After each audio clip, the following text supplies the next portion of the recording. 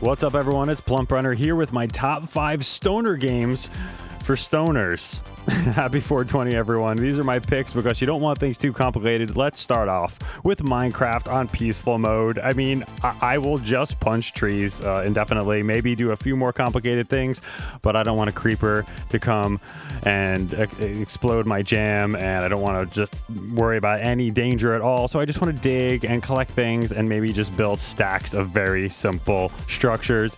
Moving on, Splosion Man. Uh, I don't know what platform you play on. I play on Xbox. Uh, the X button, it explodes. The Y button, that explodes. The B button, that will also make you explode. And the A button, of course, lets you explode. Not very complicated, easy to do, extremely visually stimulating. Let's move on. Any Spider Man game, any Spider Man game, I just want to swing through the city. I want to sling my web and play around. I love it on my iPad. And sometimes I don't even care about doing the missions. I just want to swing through the city. Uh, that leads me into any Grand Theft Theft Auto game. It's a sandbox. Who cares about doing a mission? Maybe I just want to drive a car really fast off a cliff uh, into innocent pedestrians, uh, steal a helicopter, fly that into a skyscraper. It's perfect. It, it looks great, and I, and I don't have to worry about actually accomplishing anything. And uh, my number one pick for stoners to play uh, on 420 uh, or any day really is Bejeweled. And and I say this because it seems to me see it doesn't matter what platform you have. Do you have an Android? Do you have an iPhone? Do you have an Xbox? Do you have a, P have a PC?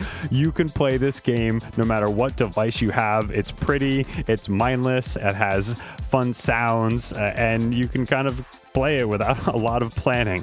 So uh, those are my top five. Let me know if you agree. Let me know if you have one that I really should have included. But just a caveat, guys, no Borderlands. Don't play Borderlands when you're high, okay? Friends don't let friends vendor high. You'll just sit there forever contemplating what thing is better, what will be the better gaming experience. So just don't do it. Uh, guys, uh, thank you. I will have another video up soon. Please like this and subscribe if you want more. Plump Runner.